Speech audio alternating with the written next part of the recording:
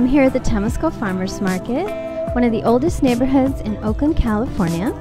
And today we'll be walking around with John and Christian, owners of the Uncommon Pickle, as they shop for organic produce for their specialty product. So here we are with uh, Christian and here at the Temescal Farmers Market. You can see the booths in the back. Yeah. And we're going to be doing some shopping this morning for Uncommon Pickles. Exactly. I'm glad they invited me. Yeah, thank you for coming. So glad that Yeah. you.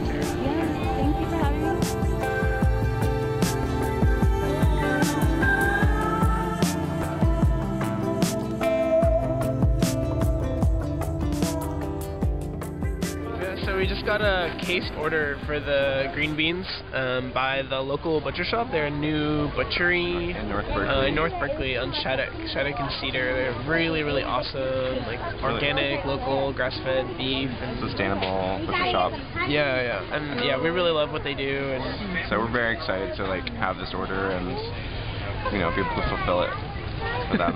yeah, exactly. So So basically, that's why we need to find a ton of green beans. we're off to get more green beans. Great. Uh-huh. Yes. All right. Sure. So we have a small business here in Oakland. Yeah. Um, Thank you. Yeah. we just wiped out baby farms to enjoy a bit more.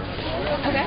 So Excuse me. do you do like a business for small businesses that we can Yeah, I think, I mean, especially if you're going to buy a larger quantity. How much are you thinking about buying? Maybe like 10 pounds. Um, hey, Rose, how much do you, would you send, sell 10 pounds of green beans for? Um, they're four dollars a pound, so it'll be forty dollars. You can do it for thirty. You want to do it for 30? Ten dollars off, but Yeah. still a lot. do that? They're yummy. And they're really good. So the green bean season is super short. Um, luckily, I mean it's really it's really just like a summer vegetable. Luckily here in California we have some zones that are more temperate than others, so the season extends a little bit longer here than it does elsewhere. But um, you know we're trying to really stockpile right now so we can have you know get as many you know really good vegetables as we can before the season's over. these, let's check these out. Yeah, they look These pretty are good. supposed to be really sweet. You taste Yeah, it? Did you try one? No, I haven't. They're really but I will. Thank you. They're crunchy and yummy. Yeah. Yeah. Let's get these weighed up. Yep.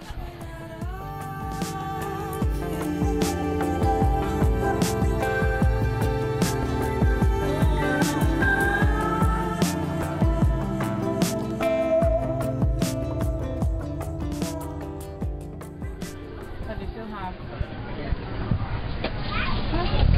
now we're um we're checking out the grapes. hmm We're at Sunrise Farms. Okay.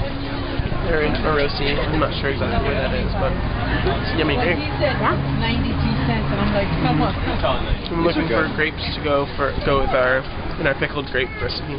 Yeah. I like these black grapes. They have a they have like a thin skin and there's no seed. And is this a new uh, experiment for you? Exactly. So we're we're looking for grapes right now to experiment, develop a recipe for, and eventually, you know, jar and sell and share with other people.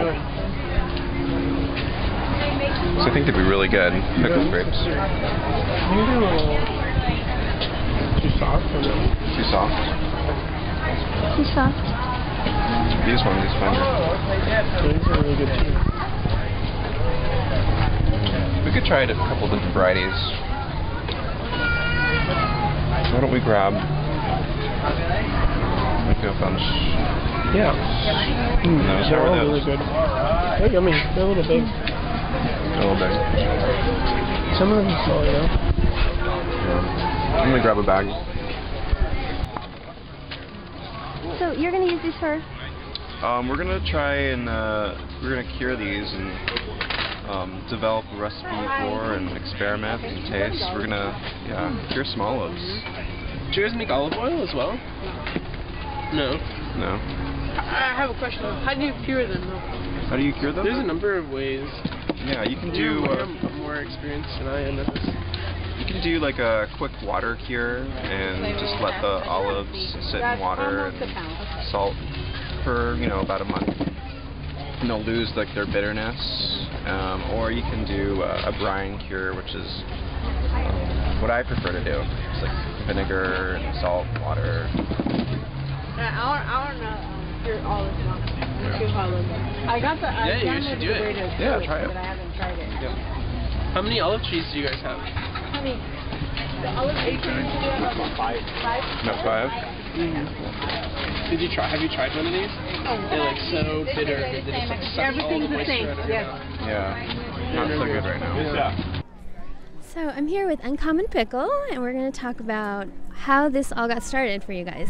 So tell me a little bit about what inspired you. Well, um, we both we love both love pickles, and I think that we started going to these uh, underground farmers markets and seeing what what other people were doing, what they're pickling and tasting, and um, it was cool to see to see what el- what other people were doing, and just realize that you can really pickle anything.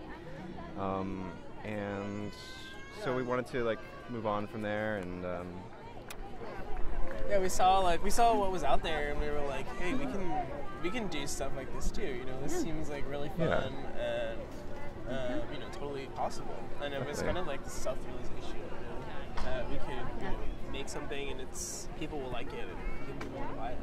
yeah. And then coming to the farmers market is Yeah. so inspiring because we just see, you know, all this beautiful, seasonal, colorful, bright produce.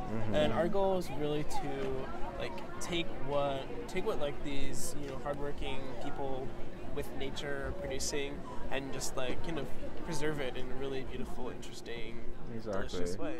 Yeah. It's beautiful. So we just want to share our, our pickle discoveries and you know, you know what we find tasty. You know. Yeah, and I've tried um, a couple of things. I've tried the cauliflower, that was delicious. Um, I've tried the cherries, fantastic. I bought a, a jar of those. Yeah.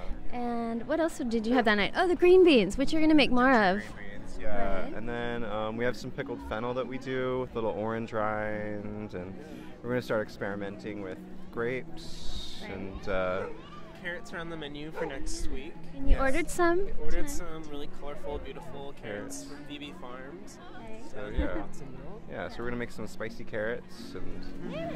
And last winter we, we started out making some artichokes. So hopefully we're going to be able to pick those back up again because artichokes are so delicious. They're just beautiful. Definitely. Yeah. So, thank you for um, walking me around the farmers market, thank you. Christian, John. Yeah, thanks so much. And we'll uh, continue this episode at the Toast uh, Kitchen, where you will be pickling items, and I hope to cover that. Yeah. Definitely. Definitely.